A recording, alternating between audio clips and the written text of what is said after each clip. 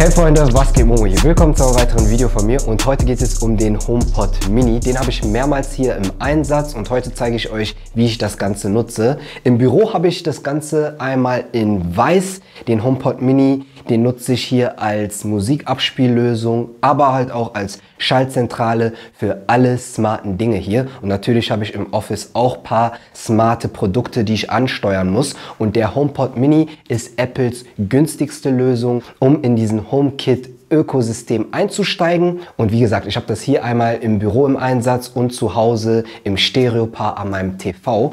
Und soundtechnisch muss ich sagen, bin ich super zufrieden. Der HomePod klingt 1A. Für die Größe, für äh, den Preis kann man wirklich nicht meckern. Man kriegt den auch in guten Konditionen auch mal bei paar Deals geschossen. Ich nutze das Ganze hier zum Beispiel, wenn ich unterwegs bin, etwas auf meinem Smartphone höre, hier ankomme, einfach das zu übergeben, ist super einfach. Ihr nehmt euer Smartphone, haltet es über den HomePod Mini und wenn ihr das gemacht habt, ist äh, der Sound einmal übergeben und ihr hört nahtlos auf eurem Gerät weiter. Wenn ich dann hier zum Beispiel durch bin, mache ich das Ganze dann einmal in rückwärts, nimm mein Handy, halte es drüber und schnapp mir den Sound, um dann das Ganze auf meinen AirPods weiterzuhören.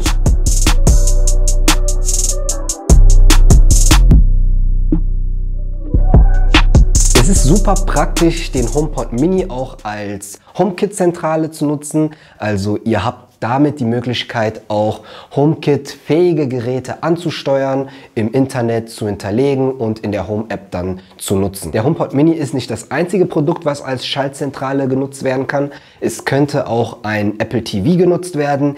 Ich habe hier einen HomePod Mini, weil das halt das günstigste ist. Es kommt aber auch mit ein paar Tücken, die ich euch jetzt einmal erkläre. Wenn ihr zwei unterschiedliche Standorte habt, also wie ich das Büro und meine eigenen vier Wände zu Hause und dort HomePod Minis als Schaltzentrale integriert habt, da funktioniert die Übergabe nicht immer reibungslos. Das heißt, ich stehe hier im Office, spreche mein HomePod Mini an, um die Lichter zum Beispiel anzusteuern und habe das Problem, dass mein HomePod Mini denkt, ich bin immer noch zu Hause. Der Standort wurde nicht korrekt übergeben.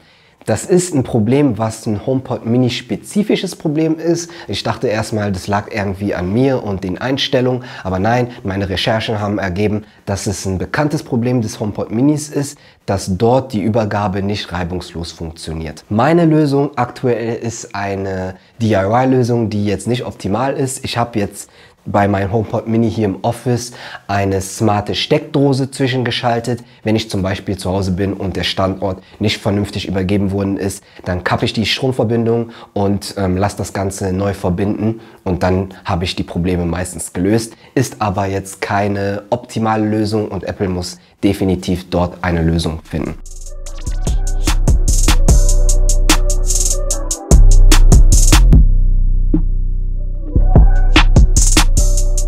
Ich bin vom Sound sehr zufrieden. Es gibt ein paar Tücken, die Apple definitiv angehen muss. Aber wenn ihr nur einen Standort habt, ist es definitiv eine coole Lösung, um euer Smart Home zu erweitern, um an unterschiedlichen Orten gut Musik zu hören. Und ähm, ja, falls dir das Video gefallen hat, dann schreibt es mir in die Kommentare. Wir sehen uns im nächsten Video und bis dahin. Ciao.